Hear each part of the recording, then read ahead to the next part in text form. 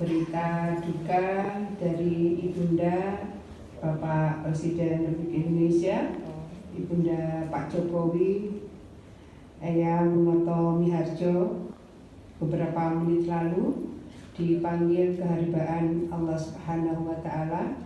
Inna lillahi wa inna ilaihi raji'un. Mudah-mudahan seluruh amal baiknya beliau diterima oleh Allah Subhanahu wa taala dan hilafnya diampuni oleh Allah Subhanahu wa taala.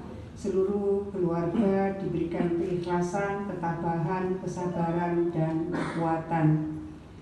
Allahumma ufir laha warhamha wa'afiha wa'fuanha.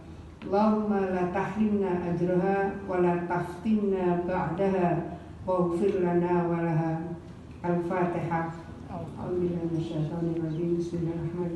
الرحيم الحمد لله رب العالمين الرحمن الرحيم مالك يوم الدين إياك نعبد وإياك نستعين اهدنا الصراط المستقيم صراط الذين أنعمت عليهم غير المغضوب عليهم ولا الضالين آمين Mudah-mudahan beliau dipanggil dalam keadaan husnul khotimah dan bersama hamba-hamba yang dicintai Allah akan masuk surganya Allah. Amin.